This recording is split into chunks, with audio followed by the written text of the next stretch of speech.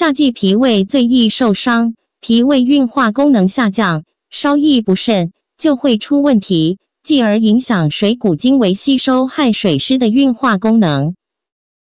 很多朋友都觉得特别疲劳，没有食欲，面色无华，舌头上齿痕很重，舌质颜色淡白等症状。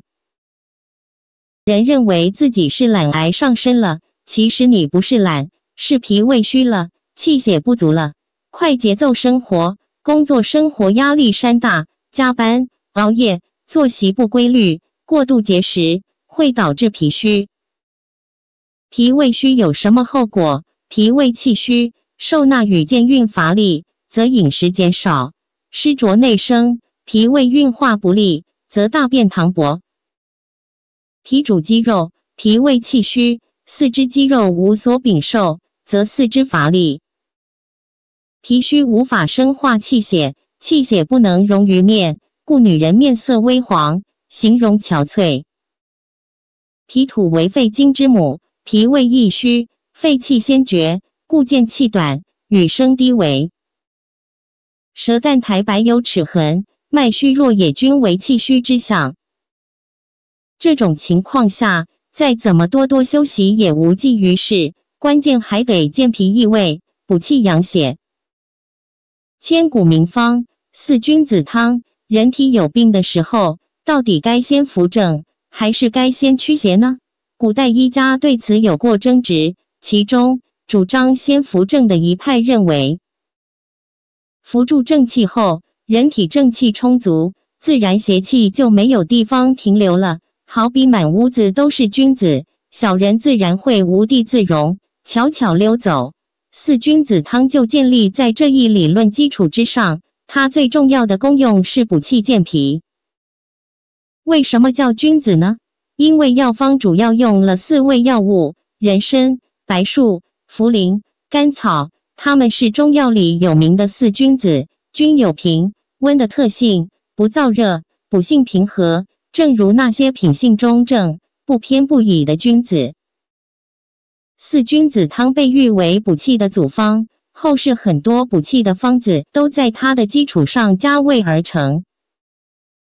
四君子汤组方思路：人参君药，甘温益气，健脾养胃；白术臣药，健脾燥湿，加强益气助运之力；茯苓佐药，肝胆，健脾渗湿，与白术相配。健脾祛湿之功更加显著。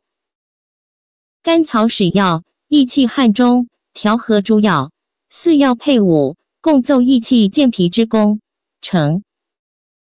九透四血盛喝四君子汤，血性就是药性。我们身体里的四个穴位，相当于我们身体里的四君子汤。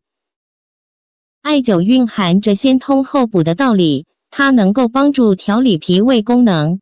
帮助我们更好的吸收水谷精微。夏季虚劳的朋友进补前必先灸补，可以灸这四个穴位来调理脾胃，强壮身体。人体自备的四君子汤：气海、足三里、阴陵泉、四关，只要灸透这四个穴位，就能达到四君子汤的效果。一气海君药好比人参。气海是任脉穴位，为诸气之海，有大补元气的作用。用补法可大补元气，温运脾阳，滋荣百脉，解除疲劳，类似人参、黄芪等药的功效。用泻法可行气、理气，类似于香附、荔枝核、沉香、郁金等药的功效。二足三里陈药好比白术，足三里属胃经。具有补中益气的作用，用补法能健脾养胃、补中益气，类似党参、白术、山药、红枣等药的功效。用泻法有消食导滞、汗胃通肠的作用，类似山楂、大黄等药的功效。三阴陵泉佐药好比茯苓。四四关使药好比甘草。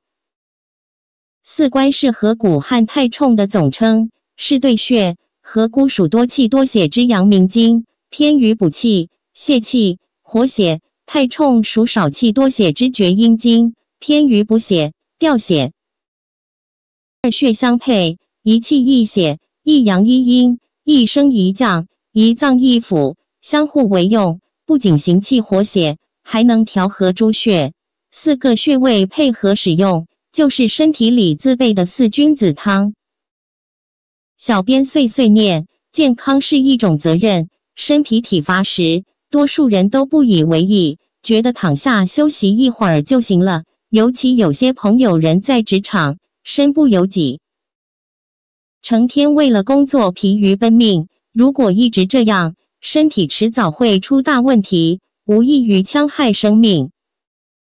所以建议大家出现身体虚劳的症状时，万万引起重视，多多艾灸或艾揉气海、足三里、阴陵泉、四关，效果胜喝四君子汤。养生方法千万种。找到适合自己的，坚持下去，一定会拥有一个健康的身体。